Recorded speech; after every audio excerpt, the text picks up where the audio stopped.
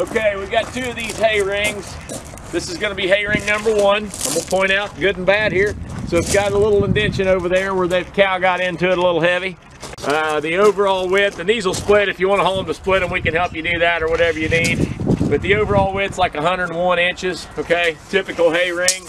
Uh, I don't think it's rusted out the bottom. It's it's pretty darn nice here at the bottom. But they got into it here, they, they creased it right here on this one edge. And other than that, right there in the same instance probably, you're gonna buy an absolute tractor house auction. Right here too, they got into that. Them cows, they get to rubbing on stuff and then it folds a little bit. But it's still got plenty of life left and it's not rusted out. But this will be hay ring number one. You're gonna buy an absolute on Tractor House Auction.